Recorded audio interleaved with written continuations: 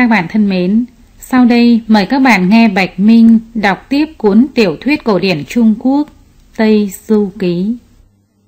Các bạn thân mến, sau khi rời khỏi núi Phù Đồ, dọc đường ba thầy trò đường tăng cứ thức khuya dậy sớm, dầm mưa dãi nắng, chẳng mấy nỗi đã sang tiết mùa hè nóng nực.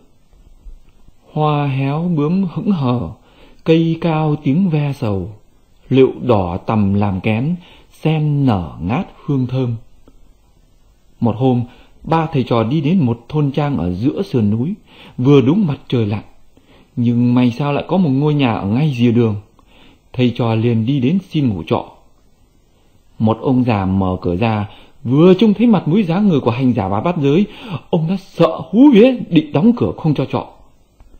Sau được đường tăng phân trần rõ sự việc, ông già biết đây là xưa ở Đông Độ Sang, liền niềm nở mời vào trong nhà và bảo người nhà sửa soạn cơm chay mời ba thầy trò.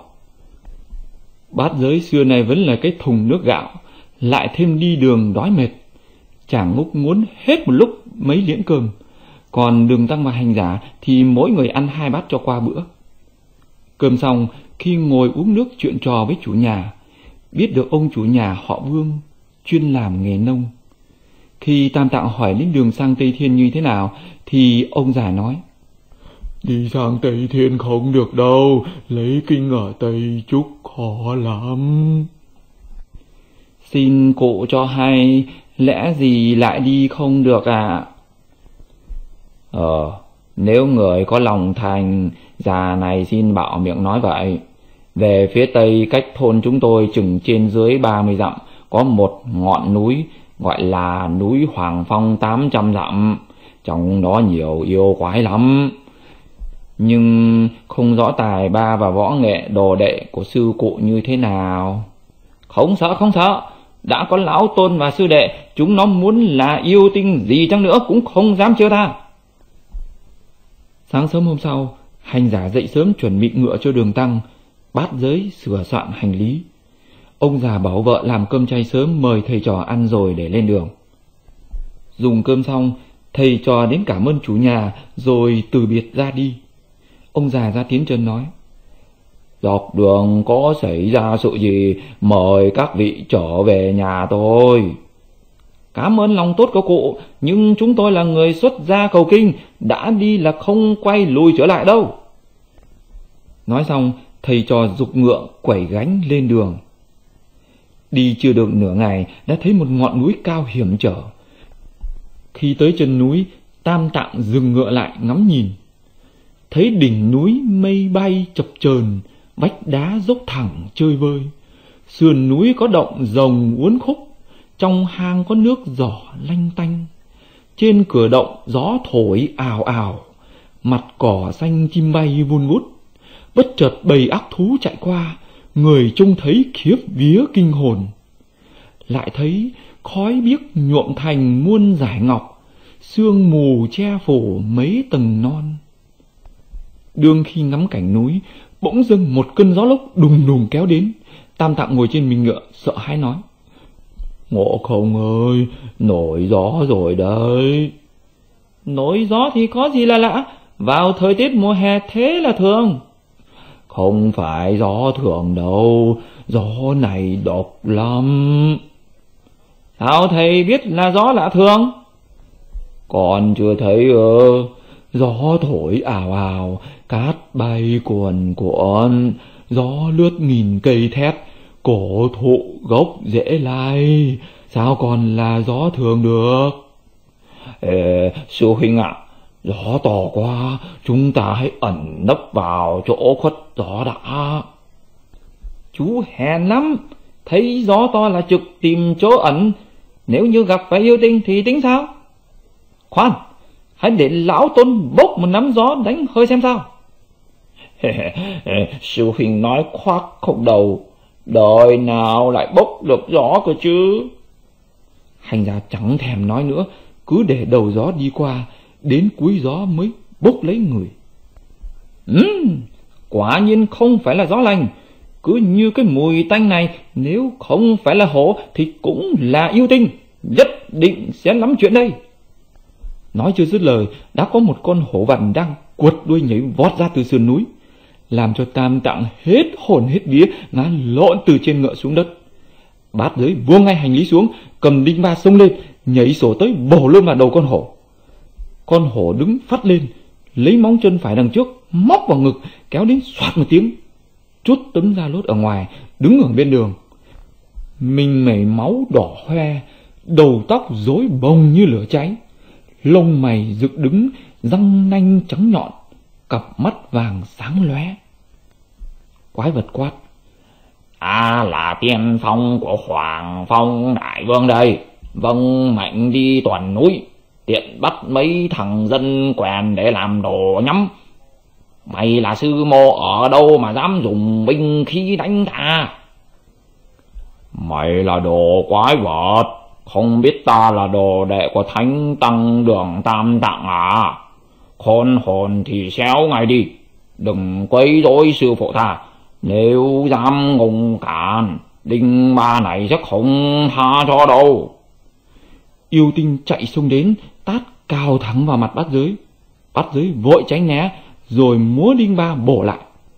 Yêu tình tay không đành phải quay mình chạy nít đến sườn núi, lấy ra một đôi đại đao bằng đồng đỏ, rồi quay lại đánh nhau với bát giới. Còn đằng này hành giả đỡ đường tăng dậy nói.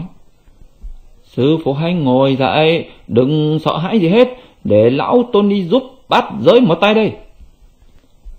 Tam tạng trong lòng vẫn không hết lo sợ, cứ lẩm nhẩm bài đa tâm kinh.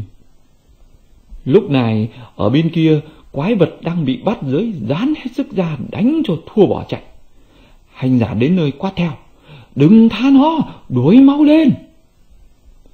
Hai anh em kẻ đinh ba người gậy sắt đuổi thẳng xuống núi. Yêu tình bốn nhún cả chân tay liền dở trò ve sầu lột sát. Lại chút da hổ xuống, lấy cỏ nhồi đầy trong da hổ, rồi hóa thành cơn gió tháo chạy về động. Trên đường chạy trốn, bất chợt nhìn thấy đường tăng đang ngồi ở dì đường tụng kinh, nó liền đến cắp luôn đem về khoe với Hoàng Phong Đại Vương. Nhưng chủ động lại nói, Chớ bội làm thịt. Thưa Đại Vương, miếng ăn đã trực sẵn mồm, hôm nay đại vương sao lại dở chúng thế? À, ăn thịt thì khó gì? Nhà ngươi vừa rồi cha nói gã này còn hai đồ đệ ghê gớm, nếu chúng tìm đến sẽ lôi thôi đấy. Bây giờ hãy trói lão ta vào cọc định phong, đợi dăm ba hôm nữa, thế không thấy hai chàng kia đến quấy rối. Bây giờ ta sẽ tự do đánh chém, muốn khò muốn gian, tùy, thế mới thú vị chứ. Đường Tăng bị bọn tiểu yêu trói lại, chỉ còn biết khóc lóc và than thở. Đồ đệ ơi, chúng còn bắt mà đánh quái ở đâu, mà thầy thì bị ma bắt đến bao giờ mới thoát nạn cơ cực này chúng con không đến ngày cứu thầy ra thì mạng thầy sẽ khó toàn vẹn. Còn đằng này hành giả và bát giới đuổi hổ chạy tận đến sườn núi, nhìn rõ con hổ ngã lăn ra ở rìa núi. Hành giả giơ gậy hết sức đánh cho một nhát, đến nỗi ê cả tay, bát giới lại bồi thêm một đinh ba nữa, răng đinh ba bật long lên. Nhìn kỹ thì ra là một cái da hổ nhồi cỏ nằm trên hòn đá trông như hệt hổ thật. Hành giả hoảng sợ nói bị trúng kế rồi trúng kế rồi.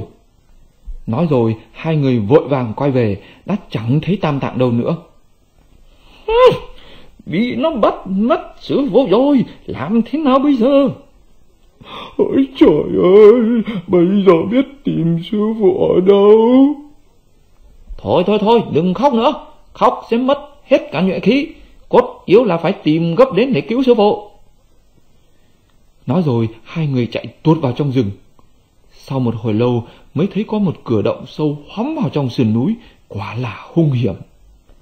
Chỉ thấy vách đá trinh vênh, Đường đi ngoặt ngoèo. Dặng thông khóm trúc rườm rà, Cành liễu ngô đồng xanh biếc. Sườn non đá nhô lởm chởm. Giọt sương lạnh buốt cỏ dại rậm rạp dây mây leo lủng lẳng thấy vậy Hành giả nói. Chú mẹ, chú hãy đem hành lý giấu vào trong hốc núi, dắt ngựa trắng vào chỗ kín, đừng để lộ ra. Để ta sẽ đến cửa động gọi nó ra, phải triệt được nó mới cứu được sư phụ. Nói rồi, vác gậy đi tới trước động. Thấy có sáu chữ lớn, Hoàng Phong lĩnh, Hoàng Phong động. Không chậm trễ, hành giả liền quát mắng thách đánh luôn. Bọn tiểu yêu hộc tốc vào báo. Tên động chủ hoáng quá và cho gọi ngay Hồ Tiên Phong đến khiển trách. Ta cho ngươi đi tuần núi, chỉ cần bắt mấy con trâu núi lợn rừng, hưu to dây béo. Sao lại bắt đường tăng để đồ đệ người ta đến đòi ta? Làm thế nào bây giờ? Nhưng Hồ Tiên Phong vẫn làm ra vẻ huynh hoang. Đại vương yên tâm, tiểu tướng sẽ đưa năm mươi tiểu hiệu bắt luôn cả tôn hành giả nào đó về thịt luôn thẻ. Chỉ sợ bắt không nổi lại lấy vạ vào thân. Bây giờ ngươi đừng có oán trách ta. Nói xong, sai năm mươi tiểu yêu khỏe mạnh, phất cờ khua trống. Còn Hồ Tiên Phong cầm hai con đao đồng, nhảy ra khỏi cửa động đánh nhau với hành giả. Mi là đồ sư con khỉ ở đâu tới đây kêu là dầm dĩ. Tịch làm cái gì nào? Mi là con vật lột ra đã dùng cái trò ma kim thuyền lột xác gì đó, bắt mất sư phụ ta. Lại còn hỏi ta muốn gì à? Muốn sống thì đưa ngay sư phụ ta ra đây, sẽ tha chết cho. Sư phụ mi ta đã bắt để đại vương ta làm đồ nhắm rồi. Mi biết điều thì về đi. Bằng không, ta sẽ bắt nốt mi làm thịt luôn thẻ. Hình giáo uất giận quá, nghiến chặt hàm răng lại, trợn mắt tròn xoe, cầm thiết bổng quát. Mi có tài giỏi gì, dám mở miệng khoác lác, hãy xem về đây.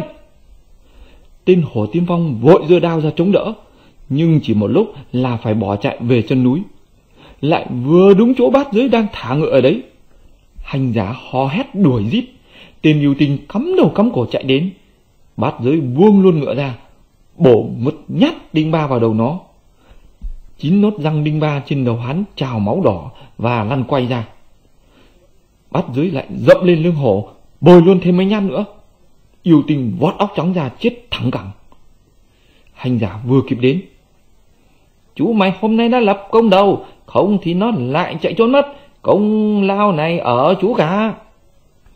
Ờ, sư huynh đã biết được sư phụ ở đâu chưa? Con yêu tinh này bắt sư phụ vào trong động, định cùng thằng đại vương nào đó ăn thịt sư phụ ta. Bây giờ thế này nhá, chú ở lại giữ ngựa và hành lý, ta sẽ mang cái thây ma này để đến cửa động khiêu chiến.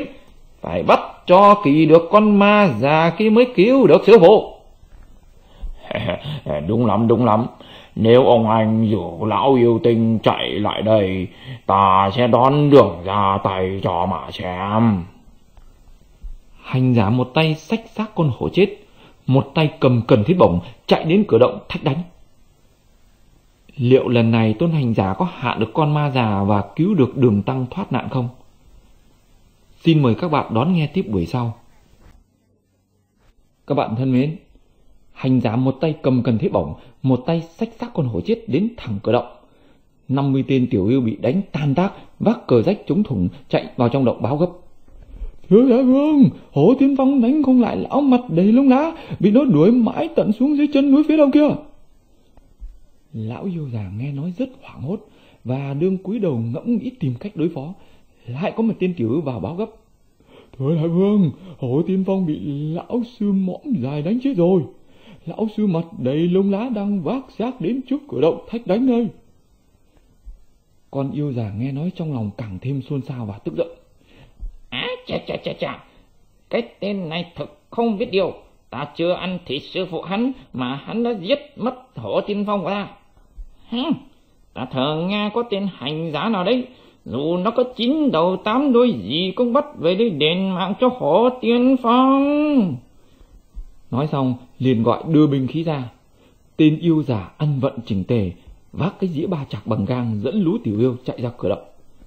Đại thánh đương khi đứng ở ngoài cửa động, thấy yêu tinh trông vẻ rất hung tợn, Mũ kim khôi sáng quắc, áo kim giáp huy hoàng, cặp lông chí phất phới bay, áo bào phủ giáp gọn gàng.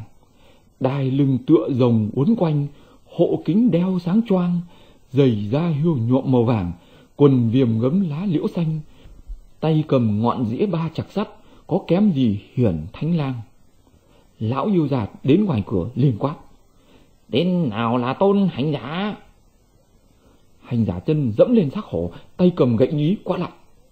Ông ngoại may đây, trả ngay sứ phụ ta.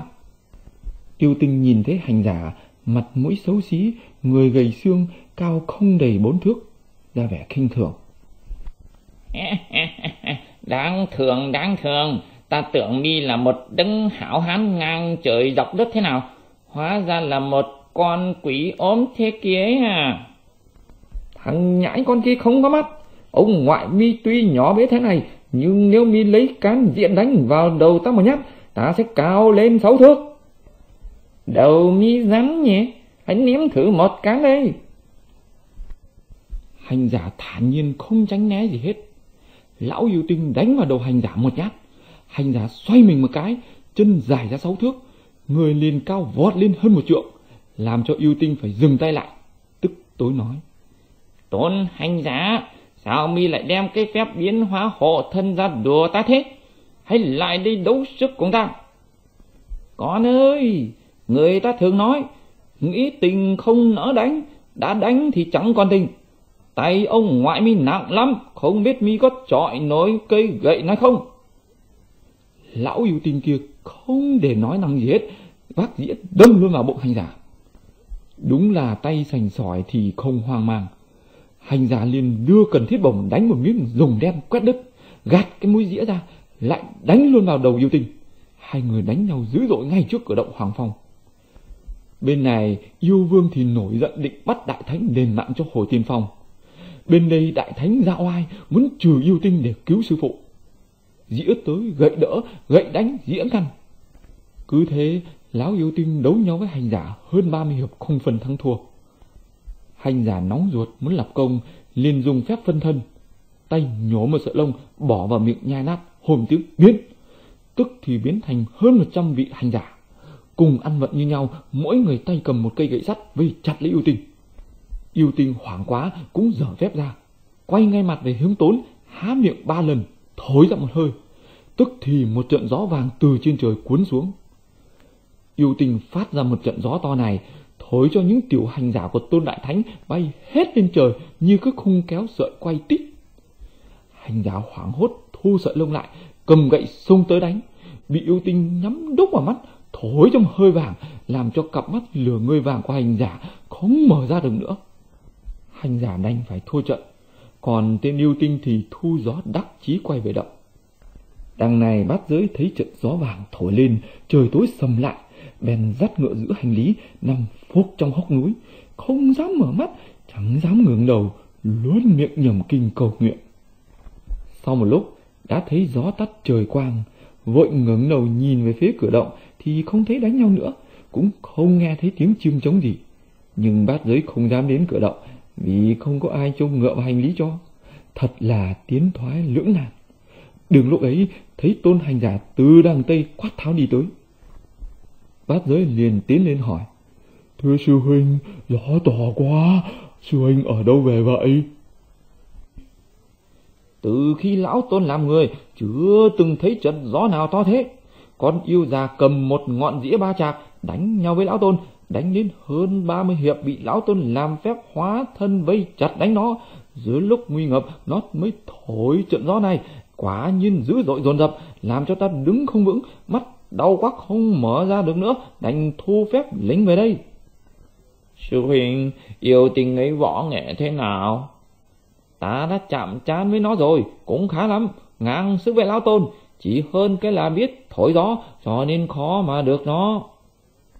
Như thế làm thế nào mà cứu được sư phụ? Việc cứu sư phụ hãy nói chuyện sau, không biết ở đây có thầy lang chữa bệnh đau mắt nào không? Hãy đi tìm mời ông ấy đến chữa bệnh cho ta. Nếu không, nước mắt cứ tràn ra thế này thì còn đánh đấm làm sao được? Sư huynh ạ, à, trên lưng chừng núi cao thế này, à, trời lại sắp tối rồi chưa cần nói thầy thuốc gì, ngay đến chỗ ngủ còn chưa biết thế nào đây. Chỗ ngủ thì chẳng khó, ta đoán chắc rằng yêu tinh chưa dám hại sư phụ. Chúng ta hãy lần ra đường cái tìm nhà ngủ trọ đó. Đợi đến sáng mai sẽ trở lại hàng phục yêu tinh sau. Nghe vậy, bát giới liền dắt ngựa quẩy hành lý ra khỏi hốc núi đi lên đường cái.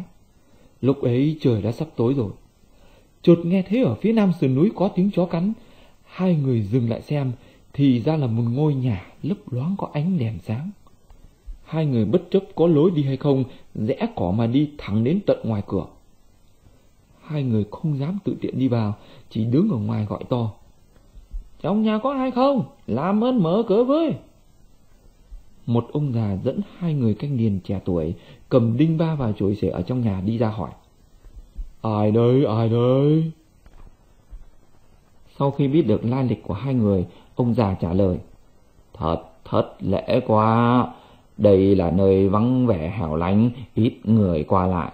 Vừa chợt nghe thấy tiếng gọi cửa, cứ tưởng là bọn hồ tinh hổ dữ hay quân giặc cướp trên núi. Ờ, thật là không biết hai vị sư đến. Xin mời các vị vào, xin mời các vị vào. Hai anh em theo ông cụ vào nhà. Cơm nước xong, người nhà lại dọn dẹp chăn gối mời đi nghỉ.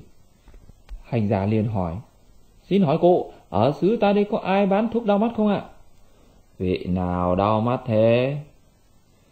Nghe vậy, hành giả liền kể lại chuyện sự việc xảy ra vừa rồi cho ông già nghe. Ông già nói, À, gió ấy gọi là tam muội thần phong. Gió ấy thổi ra, trời đất tối sầm lại, quỷ thần âu sầu, đá vỡ núi lở, mạng người chẳng thấm vào đâu. Các người như thế là may đấy. À, già này cũng có tật, gặp gió nước mắt chảy đấy, vẫn dùng phương thuốc gọi là cao tam hoa kiểu hạt.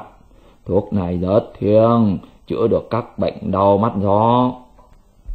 Vậy xin người cho một tí cha thử xem nào. Ông già mang ra một cái lọ con bằng đá mã não, mở nút ra lấy trong ngọc khều một tí cha cho hành giả và dặn bảo không được mở mắt ra. Yên tâm ngủ một giấc sáng mai sẽ khỏi. Chốc đá canh năm gần sáng, hành giả vuốt qua mặt, mở bừng mắt ra. Quả nhiên là thuốc hay, so với hôm qua thấy sáng sủa hơn nhiều. Rồi ngoảnh đầu nhìn lại đằng sau. Ố, chả thấy nhà cửa gì hết, chỉ còn trơ ra mấy cây hòe cỗi liễu già. Thì ra hai anh em đang ngủ trên bãi cỏ gà. Hành giả gọi bát giới dậy, hai anh em đi tìm hành lý và ngựa. Thấy có một tờ giấy dán trên cây liễu. Bát giới đi đến lột xuống, đem đến hai anh em cùng xem. Trên viết có bốn câu. Ta đây không phải nhà phàm tục, hộ pháp già lam hóa phép thần, thuốc thanh chữa cho người khỏi mắt, hết lòng dốc sức bắt yêu ma. Xem xong hành giả nói với bát giới. Chú chưa biết à, đấy là những vị hộ pháp già lam lục đinh lục giáp, ngũ phương yết đế, tứ trực công tào đó. Họ vâng mệnh Bồ Tát bảo hộ ngầm sư phụ ta. Từ đây đến cửa động Hoàng Phong cũng không xa mấy rồi. Chú cứ ở lại đây trông ngựa coi hành lý, đừng ra khỏi rừng nhé. Để lão tôn đi nghe ngóng xem sao. Hành giả nhảy vót lên bay thẳng tới cửa động. Thấy cửa động hãy còn đóng. Hành giả không gọi cửa, cũng không làm kinh động bọn yêu quái. Tay bắt quyết, miệng đọc thần chú, lắc một cái, biến ngay ra một con mũi cỏ. Bay đến thấy tiểu yêu gác cửa vẫn còn ngủ ngáy khò khò, liền đốt luôn một phát vào mặt. Yêu tinh giật mình kêu lên. Ôi trời ơi, mũi to quá, đốt thịt cả lên rồi. Nó mở mắt nhìn ra, thấy trời đã sáng, vội đứng dậy mở cửa động. Hành giả ve ve bay vào trong động, nghe thấy lão yêu già đang dặn dò các tiểu yêu phải để ý cửa ngõ. Hành giả lại tiếp tục bay vào tìm sư phụ. Đến khu vườn hoang đằng sau động, gặp tam tạng bị trói vào cái cột ở giữa vườn. Hành giả bay đến an ủi sư phụ xong đâu đấy, lại bay về đằng trước. Tình cờ nghe trộm được câu chuyện của tay yêu già đang khoe với bọn tiểu lưu. Ta chỉ sợ mỗi linh cát Bồ Tát thôi. Chộp được câu nói đó, Hành giả liền bay về khu rừng, hiện lại nguyên hình, kể lại chuyện nghe lỏm được cho bát giới hay và bàn nhau tìm đến Linh Cát Bồ Tát về cứu sư phụ. Đương khi hai người bàn bạc, chợt nhìn thấy ở trên đường có một cụ già đi qua. Hành giả giấu gậy sắt đi, buông vạt áo xuống đi lên chào hỏi. Chào cụ ạ, chúng tôi là đồ đệ của đường Tăng. Hôm qua sư phụ tôi bị lạc, cụ làm ơn cho biết Linh Cát Bồ Tát ở nơi nào. Linh Cát Bồ Tát về phía nam, cách đây ba nghìn dặm đường. Ở đây có một ngọn núi gọi là Tiểu Tu Di Sơn. Trong núi có một ngôi nhà là nơi giảng kinh của Bồ Tát đó. Lừa cho lúc hành giả ngoảnh lại nhìn, ông già liền hóa ra một cơn gió, rồi không thấy đâu nữa. Thì ra đấy là thần Thái Bạch Kim Tinh biến thành ông già để chỉ đường cho Đại Thánh tìm đến Linh Các Bồ Tát. Sau khi dặn dò bát giới ở lại trông coi ngựa và hành lý, hành giả liền cưỡi mây bay thẳng về phía nam. Nháy mắt đã qua ba nghìn dặm đường đến một ngọn núi cao. Lưng chừng núi cao có mây lành che phủ, trong hốc đá có một ngôi chùa, tiếng chuông khanh du dương, mùi hương trầm ngào ngạt. Đại thánh đi tới trước cửa, thấy một đạo sĩ, cổ đeo trang hạt, miệng niệm phật Hành giả chào, kính chào đạo sĩ. Đạo sĩ cúi đầu đáp lễ. Chẳng hay sư thầy từ đâu tới đây? Xin hỏi đây có phải là nơi giảng kinh của Linh Cát Bồ Tát không? Vâng, sư thầy muốn hỏi điều gì? Phiền đạo sĩ truyền báo giúp cho, tôi là đồ đệ của Tam Tạng Pháp Sư, tên là Tôn Ngộ Không, nay có chút việc muốn phiền đến Bồ Tát. Đạo sĩ truyền báo lên giảng đường, Bồ Tát mặc cà sa đốt hương ra đón. Hành giả lên chùa, ngồi trên ghế khách. Thấy Bồ Tát gọi pha chè, hành giả liền nói. Xin miễn cho, hiện nay sư phụ tôi bị nạn ở núi Hoàng Phong, kính xin Bồ Tát ban phép thần thông, hàng phục yêu tinh cứu thoát sư phụ tôi đã. Ta vâng pháp chỉ Đức Như Lai và trao cho tôi một viên định phong đơn, một cây phi long bảo trưởng để chấn áp Hoàng Phong quái. Ta đã thà chết cho nó, gọi về núi tu hành. Thế mà ngày nay nó dám trái lệnh định hại đường tăng, thực là tôi có lỗi. Nói rồi, Bồ Tát liền cầm phi long bảo trượng cùng đại thánh lên mây đi thẳng về động Hoàng Phong. Đến nơi, Bồ Tát nói, Đại thánh à, con yêu quá nó sợ tôi lắm, tôi cứ đứng ở trên mây, một mình đại thánh sẽ xuống giữ nó ra đây, tôi sẽ ra phép. Hành giả từ trên mây nhảy xuống, không nói năng gì, cầm gậy sắt phang tan cửa động và quát. Trả ngay sư phụ ta đây! Lũ tiểu yêu sợ hãi quá, chạy long tóc gáy và báo.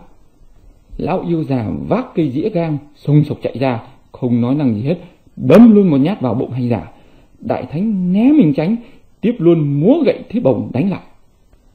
Đánh được vài hiệp, yêu tinh ngoảnh mặt về phía tốn, trực há miệng thổi gió. Linh Cát Bồ Tát ở trên trời, lao phi long bảo trượng xuống. Nhậm thần chú, cây bảo trượng hóa ra một con rồng vàng chín móng, dơ hai móng quắp lấy yêu tinh, cầm đầu dập xuống sườn núi ba lần. Hiện ra là nguyên hình một con chuồn lông vàng. Hành giả sấn đến dơ thiết bổng trực đánh. Bồ Tát ngăn lại và nói Lần trước tôi đã tha chết cho nó, lần này phải đem nó về Linh Sơn cho Như Lai hỏi tội nó. Thế vậy, hành giả từ tạ Bồ Tát, cưỡi mây về tìm bát giới. Vừa hạ mây xuống, liền gọi luôn. Chú em đâu? Mau dắt ngựa quẩy hành lý ra đây. Chàng ngốc nghe biết là tiếng hành giả, vội vàng thu xếp hành lý chạy ra khỏi rừng. Gặp hành giả hỏi liền. Sư huynh, công việc ra sao rồi? Ta mời Linh Cát Bồ Tát đến hàng phục nó rồi. Nay Bồ Tát đã đem nó về Linh Sơn gặp Như Lai hỏi tội. Còn anh em ta hãy đi cứu sư phụ mau. Hai người đánh thẳng vào trong động, đem cậu giáo thỏ yêu hồ dồn lại. Lấy đinh ba cần thiết bổng đánh cho chết sạch không còn tên nào. Rồi đi đến vườn sau cứu sư phụ. Sau khi cứu được đường tăng, thầy trò đem những thức ăn chay ở trong động bày ra ăn uống, rồi mới đi tìm đường sang Tây Thiên. Chuyến đi này sẽ ra sao? Xin mời các bạn đón nghe tiếp.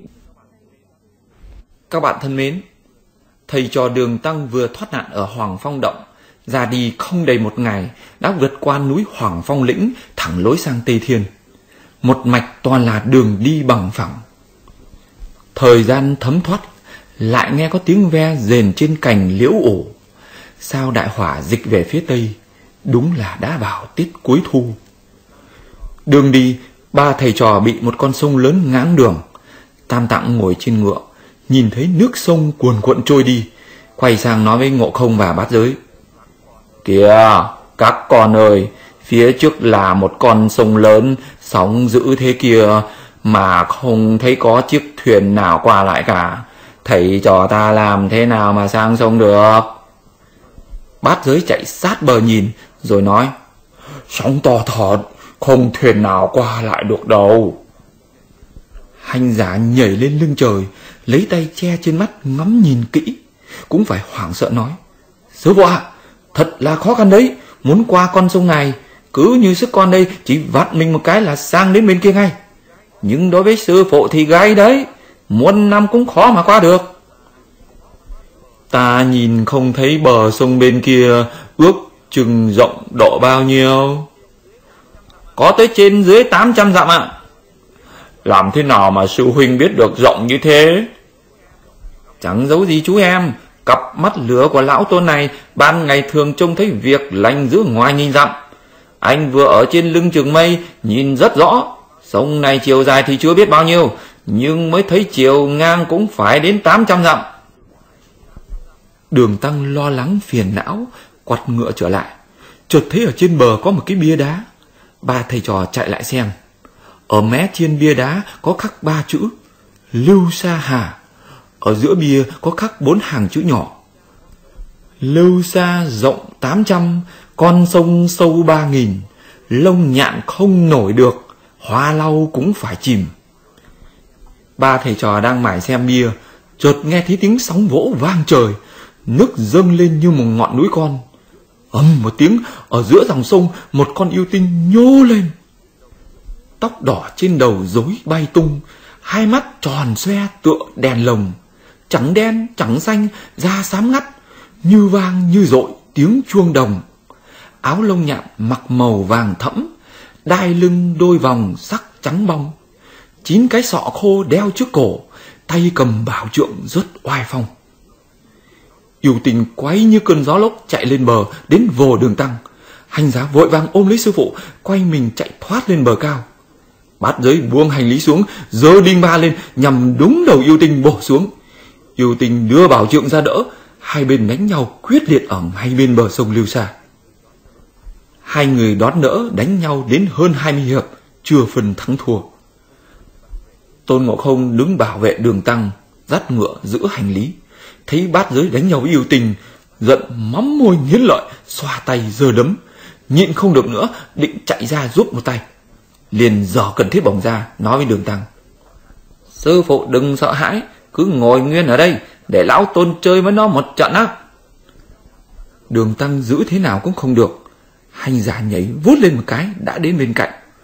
Nhưng vì yêu tinh và bát giới đánh nhau đương hăng. Giữa lúc khó bề phân giải, bị hành giả cầm cần thiết bổng nhằm đầu yêu tinh phang xuống. Yêu tinh vội vàng quay mình, hoảng hốt né tránh, chui tuốt xuống sông Lưu Sa. Bát giới tức nảy người lên. Anh ơi, ai bỏ anh lại đây? Tay nó đã đờ ra rồi, chỉ dăm ba hiệp nữa là em tóm được nó. Thấy anh hung dữ, nó bỏ trốn mất Bây giờ biết làm thế nào Chẳng giấu gì chú mình Từ khi hàng phục con yêu tinh Hoàng Phong tới nay Đến tháng này rồi chẳng mó đến bảo bối ta rồi. Trông thấy chú mày đánh nhau với nó ngon quá, Ngửa tay không chịu được, Nhảy xuống định chơi nhau với nó. Ngờ đâu nó không dám chơi lại bỏ chạy mất. Hai người khoác tay nhau, Cười nói, Cùng đi về chỗ đường tăng. Đường tăng hỏi, Có bắt được yêu tinh không? Con yêu tinh không dám đánh nhau với con, Vội vàng chuồn xuống đáy sông mất rồi. Yêu tinh ở đây đã lâu, Nông sâu nó biết rõ, Dòng nước không bờ bến như thế này, Lại không có thuyền lái. Phải có người thuộc sông nước dẫn đi mới được. Đúng thế đấy, Người ta thường nói, Sống lâu lên lão làng. Nó ở đây đã lâu Hẳn thuộc sông nước. Chúng ta hãy bắt nó nó Đừng giết vội, Mà bảo nó đưa sư phụ qua sông rồi sẽ hay. Anh đừng bàn tán nữa. Xin nhường cho anh đi bắt nó Để lão chư ngồi coi sư phụ Chú em ạ, à, cái đó anh không dám nhận. Việc dưới nước lão tôn không sành. Muốn đi thì tay phải cầm quyết, miệng đọc thần chú tránh nước mới đi được. Không thì phải biến làm con tôm cá, rùa cua ba ba gì đó mới lọt khỏi. Chứ còn đánh nhau nơi đỉnh núi trên mây, dù lắt léo đến đâu, lão tôn này đều ứng phó dễ như cơm bữa. Chỉ riêng ở dưới nước là đành chịu thôi ờ, lão chư hồi tổng đốc thiên hà, cai quản tám vạn thủy binh, có học được chút phép thủy tính. Chỉ sợ ở dưới nước nó có nhiều họ hàng dày mờ dế mã ùa đến, nhỡ đánh không nổi, bị nó tóm được thì làm thế nào? Chú xuống nước đánh nhau với nó, đừng có ham mê đánh lấy được, mà cứ vờ thua, giữ nó lên bờ ta sẽ đến giúp. Phải đấy, tôi đi đây. Nói rồi, liền cởi áo gấm, tháo giày cầm đinh ba nhảy xuống, rẽ nước tiến thẳng xuống đáy sông. Yêu tinh thua trận chạy về, đương ngồi thở hổn hển. Bỗng nghe thấy tiếng nước réo như có người xô đến, vội đứng dậy đã thấy bát giấy cầm đinh ba rẽ nước tới. Yêu tinh vác bảo trượng ngăn lại, quát. Gã sư kia đi đâu? Hãy coi chừng thần trượng ta không nể đâu. Vì là yêu tinh gì? Dám ở đây cản đường? Ni không biết đó thôi, ta đây không phải yêu tinh, mà cũng không phải tuồng vô danh. Ni đã không phải yêu tinh, tại sao sống ở đây hại người? Chính danh họ tên là gì? Cứ khai thật ra đây, ta sẽ thả chết cho. Chính ta từ nhỏ vốn rất khỏe, khắp nơi đi rong chơi, tìm thầy học được đạo, dày công tu luyện tài, linh tiêu bái ngọc hoàng, phong quyển liêm tướng, tay cầm hàng yêu trượng, lưng đeo tấm hổ bài, đầu đội mũ kim khôi, hoàng bào vận rất oai. Hộ giá ra về ta dẫn đầu, ra vào chầu trực ta là trưởng. Chỉ bởi giao trì hội tiên đào, sấy tay đánh vỡ ngọc pha lê, ngọc hoàng hạ bút phê, xử chạm nơi hình trường. Nhờ ơn xích cước tiên, cứu ta khỏi cảnh khốn. Đầy xuống sông lưu xa, trở thành quỷ sát sinh. Mi dám hành hung tới cửa ta, nay ta đương đói bụng đây mà. Dẫu rằng thô kịch nhưng dùng tạm, nướng chả làm nem đánh chén khà. Vì là đồ khôn kiếp, có mắt cũng như mù, ta còn nhẹ hơn cái bọt nước. Mi đã bảo ta là thô kịch à? Có lẽ mi cho ta là một thỏi thịt khô định làm nem nướng chả hử. Đừng có hỗn, hãy nếm thử một ngọn đinh ba của ông nội mi đây. Yêu tinh thấy đinh ba đánh xuống, dùng ngay miếng phượng gật đầu để tránh. Hai người từ đáy sông rẽ dòng dẫm sóng lên trên mặt nước, lại đánh nhau tiếp. Sau hai tiếng đồng hồ mà vẫn không phân được thua. Thực là chậu đồng trọi đĩa sắt, khánh ngọc đối chuông vàng. Hành giả đứng bảo vệ đường tăng, mắt cứ đăm đăm theo dõi hai người đánh nhau trên mặt sông. Bỗng thấy bát dưới phất trượt ngọt đinh ba, vừa chạy về phía bờ sông bên đông. Yêu tinh đuổi theo gần tới bờ, hành giả không nhịn được, bèn để sư phụ một mình, vác gậy sắt chạy đến bờ sông, choàng luôn xuống đầu yêu tinh. Còn yêu tinh không dám nghênh chiến, vuốt một cái, lặn xuống đáy sông. Bát giới phát cáu nói, Cái ông tệ máu ôn thật là khỉ, Giá mà để tôi lừa nó đến chỗ cao, anh sẽ đứng chặn ở dưới bờ sông không cho nó chạy trốn. Có phải là tóm được nó không? Bây giờ nó chạy trốn mất rồi, đời nào nó lại ra nữa? Chú ngốc ơi, đừng phát cáu nữa, chúng ta hãy trở về thưa với sư phụ. Bát giới cùng hành giả về nơi gò cao gặp Tam Tạng. Tam Tạng nghiêng mình nói, Các con khó nhọc quá. Nói gì đến khó nhọc, chỉ có làm cách nào mà đưa được sư phụ qua sông mới là vạn toàn. Vừa rồi, con giao chiến với nó ra sao? Võ nghệ của nó cũng ngang sức với con thôi. Đường đánh nhau, con giả vợ thua, nó vừa chạy đến bờ sông nhìn thấy sư huỳnh giơ gậy lên thế là nó chạy mất. Vậy thì làm thế nào bây giờ? Bây giờ trời cũng tối rồi, sư phụ tạm ngồi trên bờ sông này, để lão tôn đi xin cơm ăn đã. À, phải đấy, anh đi luôn đi. Hành giả phi lên trên mây đi thẳng về phía bắc, đến thôn làng xin ít cơm chay mang về hiến lên sư phụ. Khi đồ đệ xin cơm, giá mà hỏi người ta biết cách thức qua sông, chẳng hơn đánh nhau với con yêu tình ấy ư. Nhà người ta ở xa lắm, cách đây năm bảy nghìn dặm cơ. Họ biết gì mà hỏi, thật vô ích. Anh lại nói khoác rồi, năm bảy nghìn dặm mà anh đi về chóng thế à? Chú biết đâu được phép nhào lột bay mây của lão tôn, chỉ quăng người một cái là mười vạn tám nghìn dặm xa rồi. Cách quãng đường dăm mấy nghìn đó tôi chỉ cần gật đầu uốn lưng một cái là xong. Đã dễ dàng như thế, anh cõng quách sư phụ sang sông đi. Cũng chỉ gật đầu uốn lưng một cái là xong. Hả tất phải đánh nhau khó nhọc với yêu tình làm gì? Ờ, chú mày cũng biết cưỡi mây đấy. Sao không cõng sư phụ đi? À, sư phụ thịt xương phạm tục, nặng như Thái Sơn, tôi cõng thế nào được? Phải là ông anh có phép nhào lộn bày mề mới được. Chú em ơi, phép nhào lộn bay mây của ta chỉ là cưỡi mây đi cho nhanh thôi. Chú cõng không nổi, thì tôi cõng làm sao được? Có lẽ cấp Thái Sơn còn dễ, chứ dắt người phàm trần thì thật chịu đấy. Cũng như con yêu tinh hung ác kia, có phép hút người thổi gió, nhưng chữ rành ràng ở dưới mặt đất mà thôi. chữ mang nó lên trời thì chắc nó cũng chịu. Những phép ấy lão tôn biết thừa, lại còn thạo cả phép ẩn hình, độn thổ nữa. Nhưng sư phụ ta vẫn chưa siêu thoát bể khổ, còn là thịt xương phàm tục. Vì thế mà một bước cũng khó. Tôi với chú chỉ là người đi theo bảo hộ, giữ làm sao khỏi hại đến tính mạng người, chứ không gánh đỡ khổ sở cho người được, cũng không tự mình lấy được kinh. Nếu chúng ta có đến trước lạy Phật, Phật cũng chẳng giao kinh cho chú mày với ta đâu. Bát giới nghe nói, ngoan ngoãn vâng lời. Ba thầy trò ăn xong cơm nhạt, rồi ngủ ngay bên bờ sông Lưu Sa. Sáng hôm sau, Tam Tạng dậy sớm hỏi hành giả.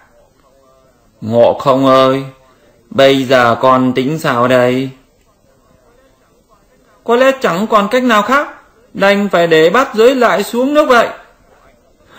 Anh này chỉ được cái thế thôi, bắt tôi xuống nước hoài. Chú em ơi, lần này anh không nóng nảy nữa, cứ để cho chú lừa nó lên bờ, anh sẽ đứng chẹn ở mé sông, không để nó trốn thoát, phải bắt cho kỳ được nó. Phen này, liệu hai anh em có hiệp đồng bắt được con yêu tinh không? Xin mời các bạn theo dõi tiếp. Các bạn thân mến, ba thầy trò đường tăng ngủ lại một đêm ở bên bờ phía đông sông Lưu Sa. Sáng hôm sau, hành giả lại bảo bát giới đi tìm bắt con yêu tinh. Bát giới vác đinh ba chạy ra bờ sông, rửa qua mặt mũi cho tỉnh người lại, rẽ nước xuống tìm con yêu tinh. Yêu tinh vừa ngủ dậy, nghe tiếng khua động nước, vội dương mắt ra nhìn, thì lại thấy bát giới vác đinh ba đi tới, nó chạy ra ngăn lại quát. Khoan, coi trưởng đây. Bát dưới dơ đinh ba ra đỡ. Ế, cái thứ gậy chống đám ma của mày là cái trò gì mà dám bảo ông nội mày coi trưởng? Cái đồ ngốc nhà mày không biết gì. Bảo trượng ta đây là thoi dệt ở cung Quảng Hàn. Ngô Cương lựa một cành tươi tốt, thợ mộc lỗ ban đã tạo ra. Trong lòng đỏ ối tựa hoàng kim, ngoài mặt long lanh như ngọc giới. Biến dài rút ngắn tùy ý muốn, hóa nhỏ thành to đủ phép thần mạnh danh bảo trượng phục yêu ma canh giữ linh tiêu chóc ma quái ngọc hoàng ân ban, sắc phong tướng quân, nâng rèm đón tiếp khách ra vào, từng đi hộ giá hội ban đào từ khi đuổi khỏi trốn thiên đình, bảo trượng trong tay dọc ngang tung hoành còn cái đinh ba cùn của mi đem mà xới đất và canh điền. mi chỉ là con vật lừa dối. Thôi, sới đất canh điền gì cũng được. Chỉ sợ bỏ cho mà nhát, mi sẽ không có chỗ giãn khao.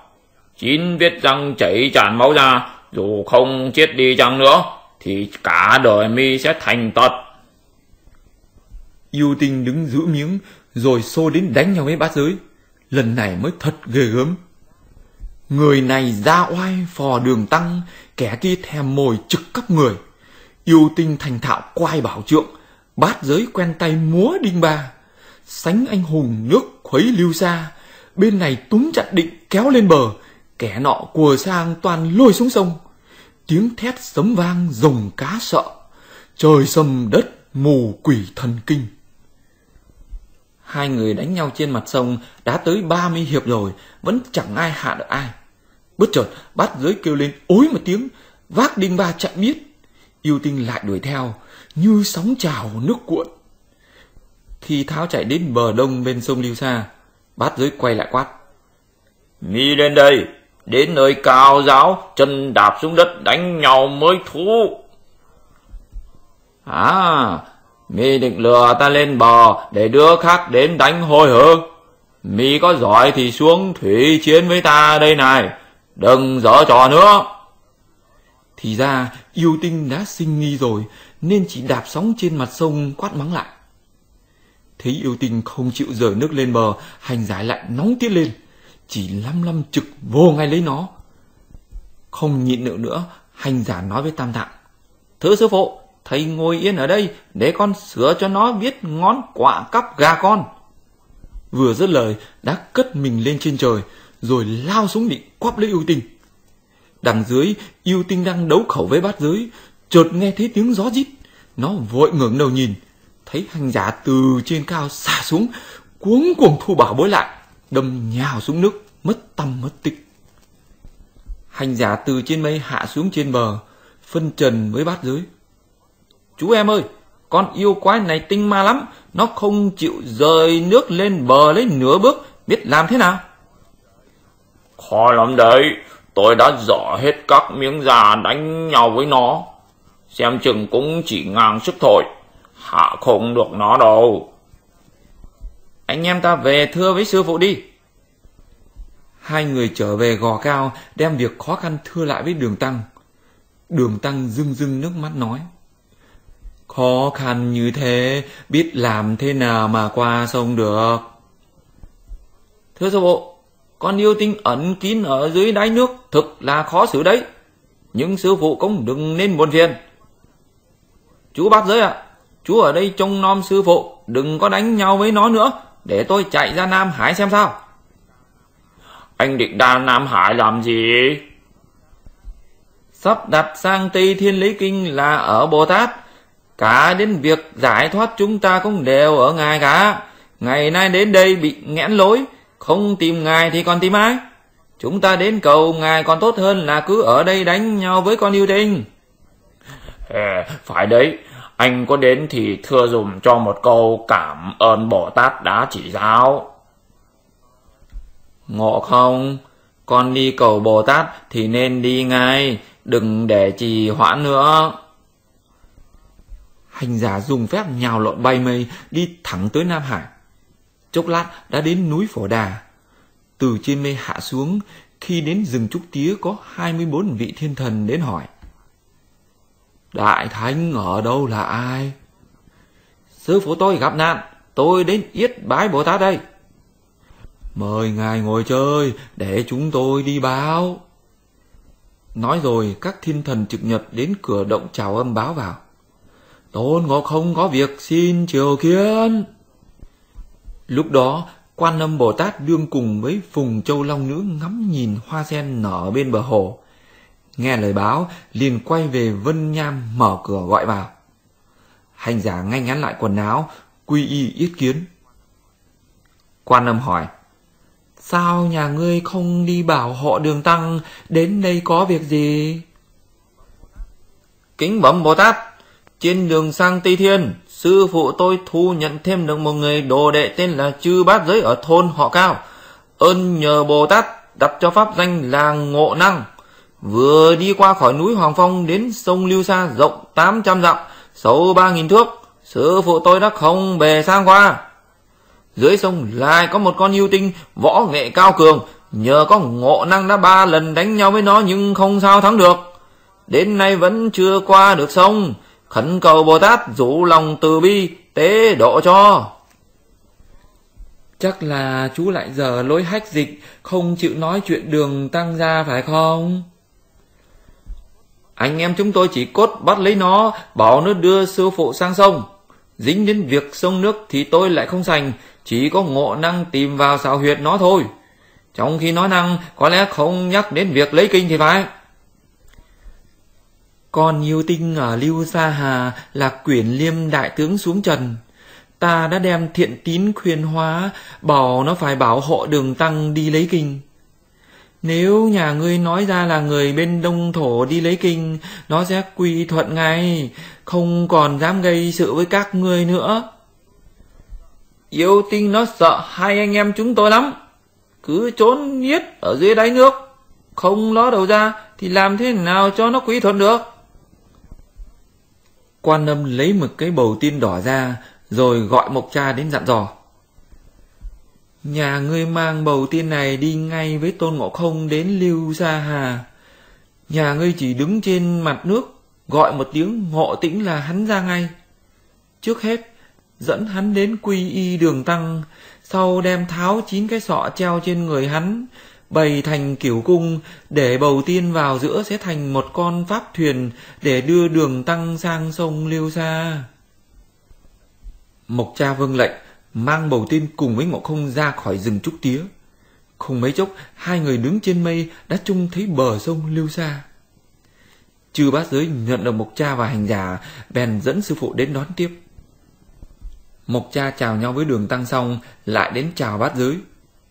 Bát giới nói, Nhờ ơn Ngài chỉ giáo, được Thầy Bồ Tát thụ giới cho lão trừ tuần theo Pháp giáo, nay mừng được nhập đạo Sa Môn. Từ đây đến nay vì bôn ba trên đường à, nên chưa được cảm tạ, xin thứ lỗi cho. Thôi, chú em đừng lại nhái nữa, chúng ta hãy đi tìm gọi nó ra. Tam Tạng chưa hiểu ra sao, liền hỏi. Gọi ai thế vậy? Lão Tôn đến gặp Bồ Tát thưa lại việc trước. Quan âm Bồ Tát có bảo, yêu tinh sông Lưu Sa là quyển liêm đại tướng xuống trần.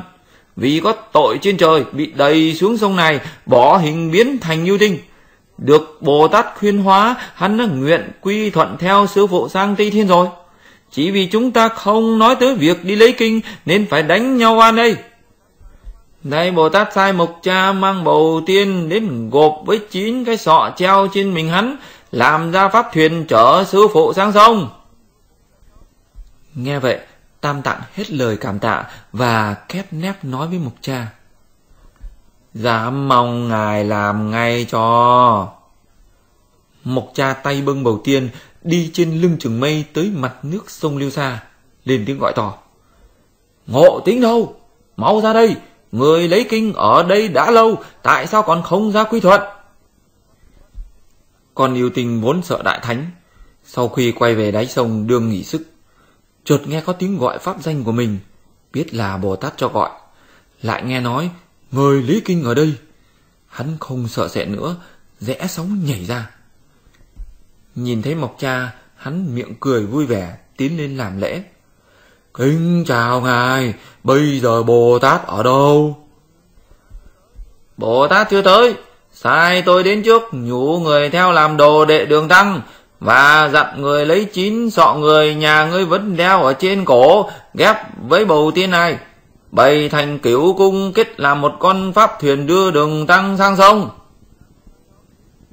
Người lấy kinh ở đâu? Mục cha lấy tay trỏ lên bờ nói người ngồi trên cao kia kìa ngộ tính nhìn thấy bát giới liền nói con quái vật này ở đâu đến, đánh nhau với tôi luôn hai ngày, có nói gì đến việc lấy kinh đâu. Lại trông thấy hành giả, ngộ tính có vẻ sợ sệt nói. À, cả cái ông choát con này nữa, đánh hôi rất ghê.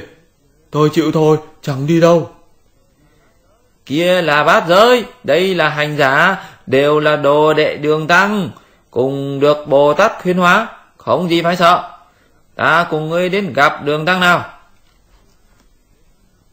Nghe xong ngộ tính mới thu bảo trượng lại, sửa lại quần áo đi lên trên bờ, quỳ xuống trước mặt đường tăng.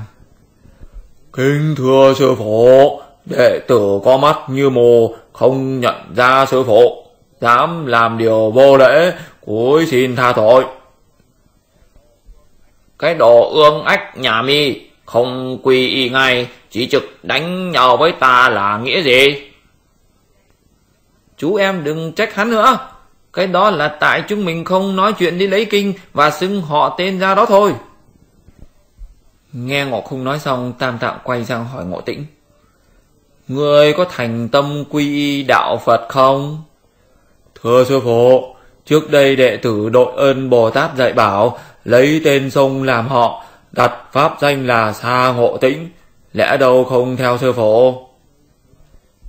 Vậy thì được. Nói xong, đường tăng gọi ngộ không lấy dao cắt tóc phát giới cho hắn.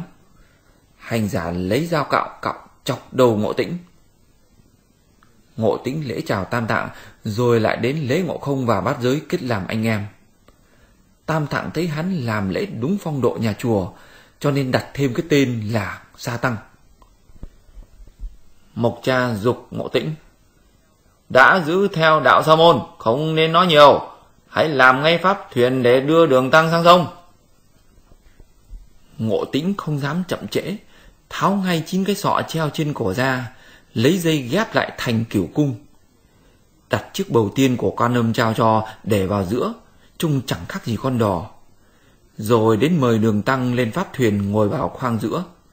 Bát giới và sa tăng ngồi hai bên đỡ đường tăng, hành giả dắt ngựa đứng ở cuối đò. Mục cha đi trên lưng chừng mây, hộ vệ đằng trước. Bốn thầy trò qua sông, gió lặng sóng êm, thuyền lao đi vun vút như bay. Không mấy chốc đã sang tới bờ bên kia. Chẳng phải dẫm bùn lội nước, chân giáo tay khô, vô vi thanh tịnh. Thầy trò vừa lên bờ sông, bỗng dưng chín cái sọ khô ở pháp thuyền đã hóa thành chín luồng gió nhẹ, bay đi hết mất. Mộc cha cũng thu cái bầu tiên lại, phi lên tầng mây bạc, cưỡi gió bay về Nam Hải. Tam tạng nhìn theo lễ tạ quan âm và mộc cha. Xong đâu đấy, bốn thầy trò khởi hành tiếp tục sang Tây Thiên. Chưa biết bao giờ cầu được chân kinh thành được chính quả. Mời các bạn đón nghe tiếp. Sau khi thu nhận thêm sa tăng ở sông Lưu Sa làm đồ đệ, bốn thầy trò đường tăng thẳng đường cái thanh thang sang Tây Trúc. Dọc đường, trải mấy non xanh nước biếc, biết bao cỏ nội hoa rừng. Ngày tháng đưa thoi, cuối thu hưu hắt. Chỉ thấy rừng thông đầy lá đỏ, gió muộn cúc vàng hoe. Âu sầu rền giọng dế, dầu dĩ ngâm tiếng ve. Sơ xác sen rủ lá, um tùng quất đỏ lòe. Trên trời đàn nhạn lạc, lướt gió bay sập xòe. Đi một hồi lâu, trời vừa xế bóng, Tam Tạng nói với mấy đồ đệ. Các con ơi, trời đã chiều rồi, phải đi tìm chỗ trọ đi chứ. Sư phụ nói thế là không phải rồi, người tu hành thì phải nằm xương gối tuyết, trải gió tắm mưa, tới đâu là nhà đấy, sao lại phải đi tìm hỏi chỗ ngủ? Anh ơi, anh đi Tây không nên không thường đến người gánh nặng. Từ lúc qua sông Liêu Sa, suốt ngày trèo non lội suối, gánh nặng chịu trên vai, em không ta nào gánh nổi nữa rồi. Cũng nên tìm đến chỗ trọ, một là kiếm lưng cơm chén nước, hai là nghỉ ngơi cho khỏe mới hợp đạo lý chứ. Chú mày nói như vậy là có ý oán trách hả? Vẫn còn giữ cái thói khi còn ở thôn họ cao, quen ý lại vào người rồi. Không được đâu nhá. Đã là người theo đạo sa môn thì phải chịu, đắng nuốt cay mới làm được đồ đệ. Anh có biết gánh hành lý nặng bao nhiêu không? Từ khi có chú và sa tăng, tôi có gánh nữa đâu mà biết được nặng nhẽ. Thế thì anh nghe tôi kể cho mà nghe. Hai đôi sọt bằng mây, tám dây thừng buộc thắt, còn sợ mưa thấm vào, mấy lần chiên bọc chặt. Đòn gánh đè trên vai, hai đầu đóng đinh sắt, gậy chín vòng bằng sắt bịt đồng, áo nàn đài mây mũ lá kết.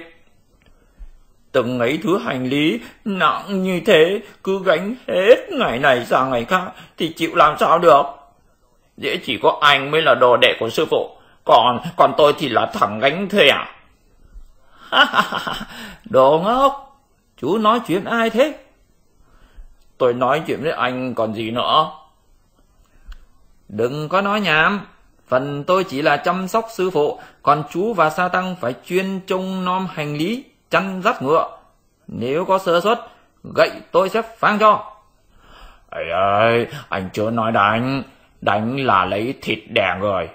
Tôi vẫn biết tính anh đài cát chẳng thèm gánh đầu. Nhưng còn con ngựa của sư phụ, cao lớn béo tốt kìa, chỉ cõng một vị sư thôi. À, giá mà anh cho nó đỡ hộ mấy thứ thì cũng là tình anh em đấy. Chú tưởng nó là con ngựa thường hay sao? Hắn là con trai của Tây Hải Long Vương Ngao Thuận, tên là Long Mã Tam Thái Tử. Chỉ vì đốt cháy Ngọc Minh Châu ở trên điện, bị cha kiện là ngỗ nghịch, phạm tới tội trời. Nhờ ơn Bồ Tát cứu mạng để cho ở khe ung sầu đợi sư phụ ta đến.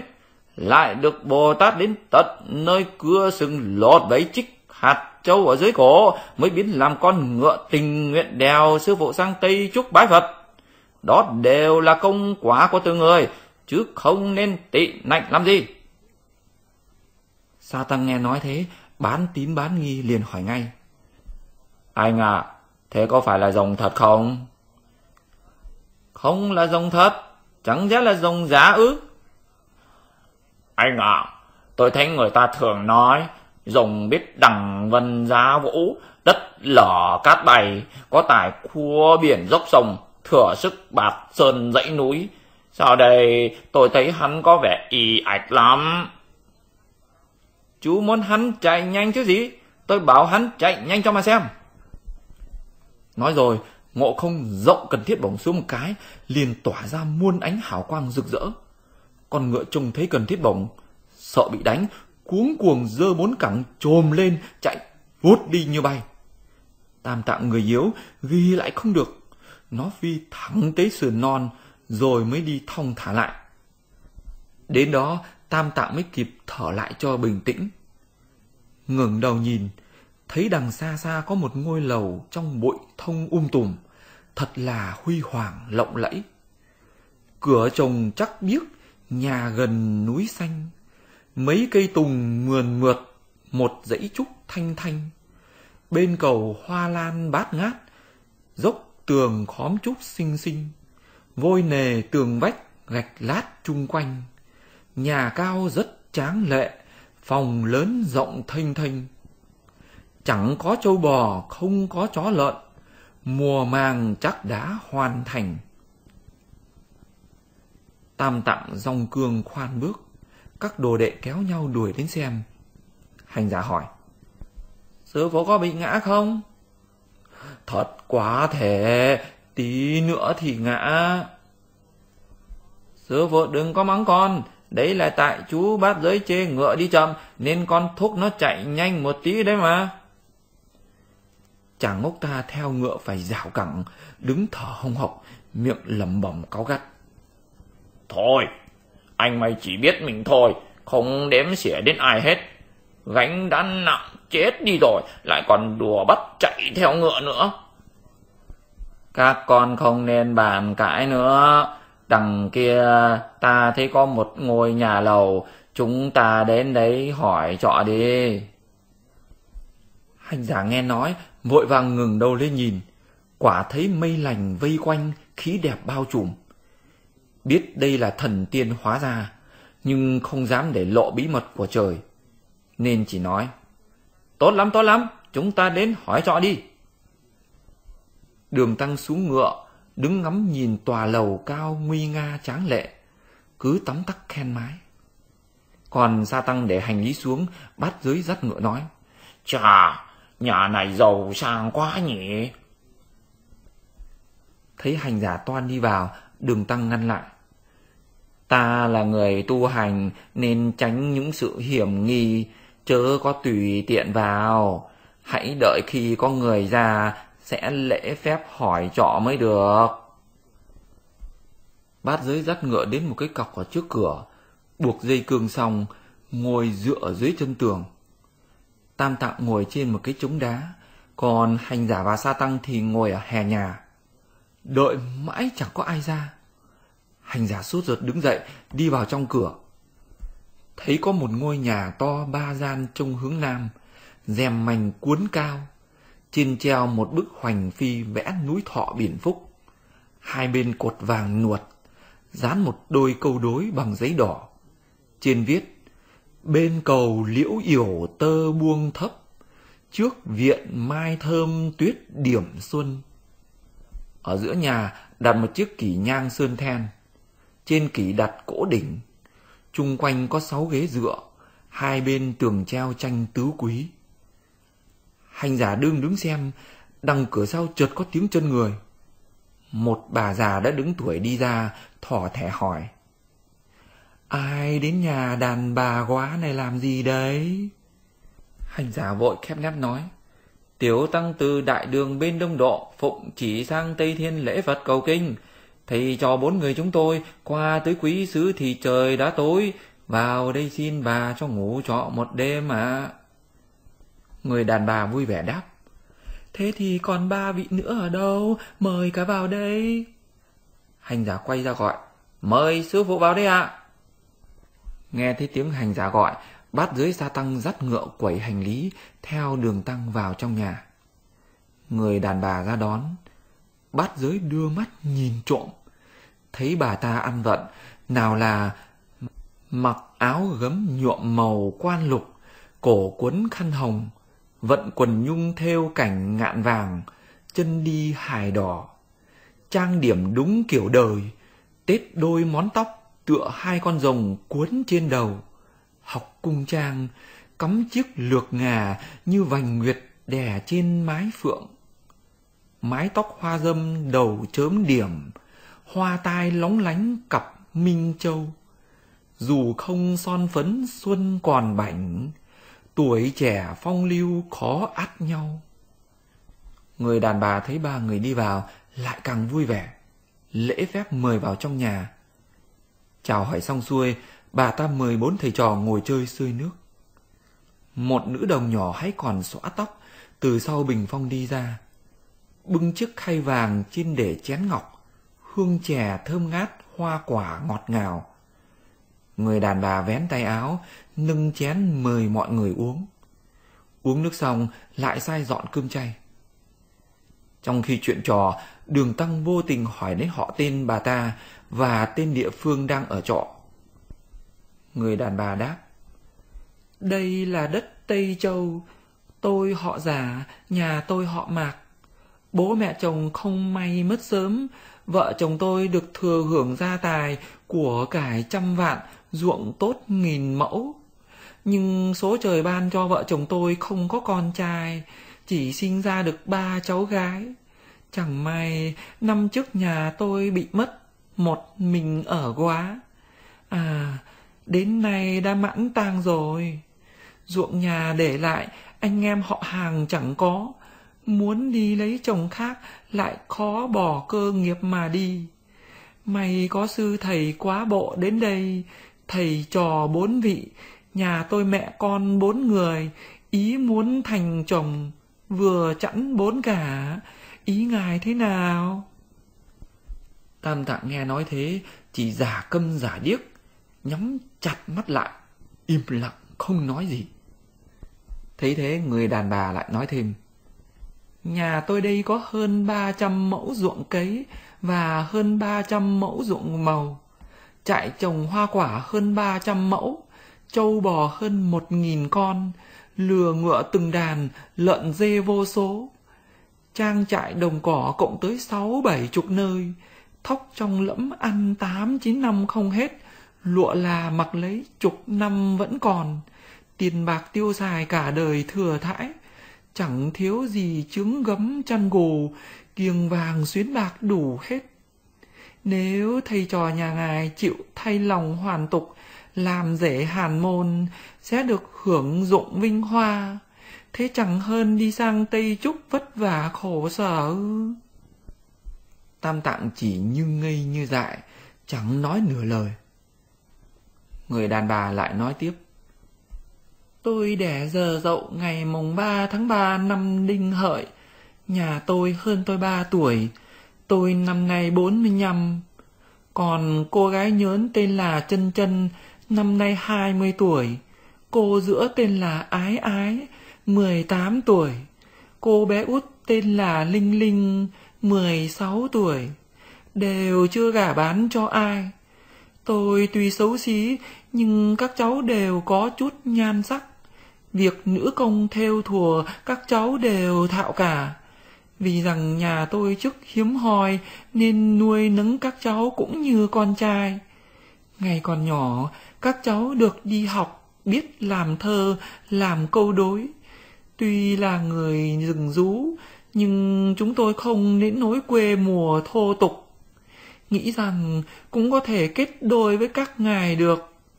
Nếu các ngài chịu bỏ hoài bão cũ, để tóc dài, sẽ làm gia trưởng nhà này, ăn sung mặc sướng, chẳng hơn bát đàn áo thâm, giày rơm nón lá ư. Tam tạng ngồi ở phía trên, chẳng khác gì trẻ con kinh sấm, cò bợ phải trời mưa, sợ rúm cả người lại, lim dim cặp mắt, quay mặt sang phía khác. Nghe nói đến giàu sang như thế, gái đẹp như vậy, bát giới lại thấy ngứa ngáy. Ngồi trên ghế, chẳng khác gì như bị kim châm vào hông, nghiêng một nọ ngả bên kia, nhịn không được.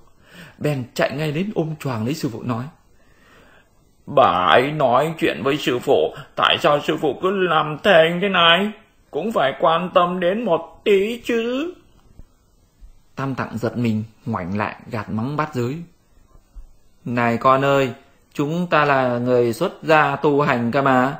Sao lại để cho mồi phú quý động lòng, vẻ yêu kiểu mê trí? Thế còn tu với hành làm sao được? Thấy đường tăng mắng đồ đệ như thế, người đàn bà vừa cười vừa nói. Khổ lắm, đi tu thì có cái gì tốt nào? Thưa bà, người tại gia thì có gì tốt? Xin ngài hãy yên tâm, tôi sẽ nói cái tốt của người tại gia để ngài nghe. Mùa xuân tha thướt bộ quần là, mùa hạ thưởng sen mặc áo xa, thu tới làm men ngâm rượu nếp, đông về sưởi ấm ở lầu hoa. Bốn mùa hưởng thụ đều sung sướng, tám tiết ăn chơi đủ ngọc ngà. Chướng gấm màn the đèn nến đỏ, còn hơn mỏi miệng niệm di đà. Thưa bà, người tại gia đầy vinh hoa thừa phú quý, ăn mặc đẹp, trai gái đề huề, thực là sung sướng đấy. Nhưng chúng tôi là người xuất gia đi tu, cũng có chỗ tốt, xin nói để người nghe. Xuất gia quyết lập chí phi thường, rũ sạch tơ tình chẳng chút vương, ngoài miệng không hề lời ái dục trong lòng đã có sẵn âm dương, công thành danh toại, trầu kim khuyết, giá sạch lòng trong về cố hương, gấp mấy tại gia mê rượu thịt, túi cơm giá áo có ai màng. Người đàn bà nghe lời thế đâm phát cáu lên. Lão sư này thật không biết điều, sao lại dám vô lễ thế? Nếu ta không nể nhà ngươi từ bên đông độ lặn lội tới đây, ta sẽ tống cổ ra ngay. Ta đã thực lòng thực dạ, đem cả gia sản kén các ngươi làm rể. Ngươi lại nói hỗn với ta như thế. Ngươi đã thụ giới phát nguyện không chịu phá giới thì thôi. Trong bọn đi theo, để lại cho ta một người cũng được. Sao ngươi cứ khăng khăng thế? Tam tạng thấy người đó phát cáu, giả vờ ù hữ nói. Thế ngộ không ở lại đây nha. Chịu thôi, chịu thôi. Từ thuở nhỏ con không biết làm việc ấy. Sư phụ bảo bát giới ở lại là hợp ý hắn đấy. Không biết có ai chịu ở lại làm rể cho nhà này không? Xin mời các bạn đón nghe tiếp buổi sau.